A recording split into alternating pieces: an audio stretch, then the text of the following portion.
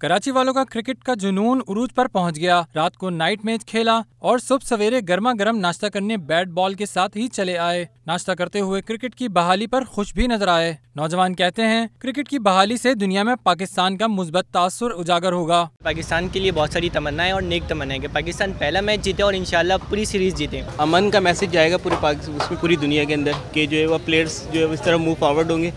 और क्रिकेट पाकिस्तान में बहुत ज़्यादा खेली जाती है उसके लिए भी बहुत ज़्यादा बूस्ट अप है ना? नन्हे बच्चे भी क्रिकेट के जुनून में डूबे हैं। क्रिकेट के ये जुनूनी पुरुद हैं कि अब तमाम टीमें पाकिस्तान आएँगी। हम चाह रहे हैं कि पाकिस्तान में इस तरह क्रिकेट बहाल हो और हम खुद भी खेलना चाहते हैं बहुत मज़ा आता है खेलने में। उम्मीद है कि आगे भी काफ़ी टीमें आएँगी ऑस्ट्रेलिया इंडिया खासतौर पर इंडिया आए हमारे साथ खेले सीरीज़।